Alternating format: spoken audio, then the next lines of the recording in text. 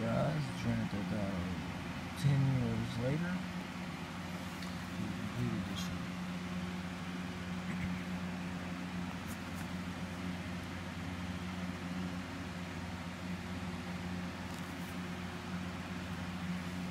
Got the game when I was 13 and I'm 23, so it's been a while.